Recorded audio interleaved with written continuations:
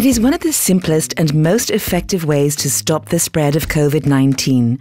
Ventilating indoor spaces regularly. Most importantly, the German Federal Environment Agency recommends using CO2 meters in government buildings, in care homes for senior citizens, in offices, and in schools. These instruments measure the level of carbon dioxide in the air. Consequently, they not only indicate the quality of the air in the room, but also the concentration of airborne aerosols. High levels of aerosols are considered to represent the dominant route for the spread of COVID 19. When the concentration of CO2 increases, so does the proportion of aerosols.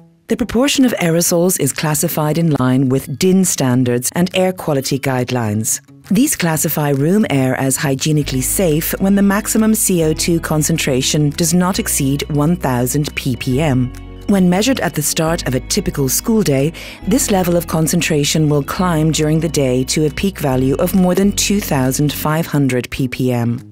The only reasonable approach is to develop a ventilation concept to reduce the concentration of particles in the air.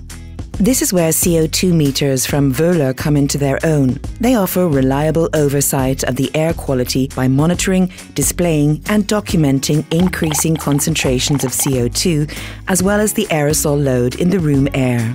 A built in infrared detector recognizes CO2 molecules based on their wavelength. This spectroscopic measurement reliably and precisely determines the concentration of carbon dioxide in the room air.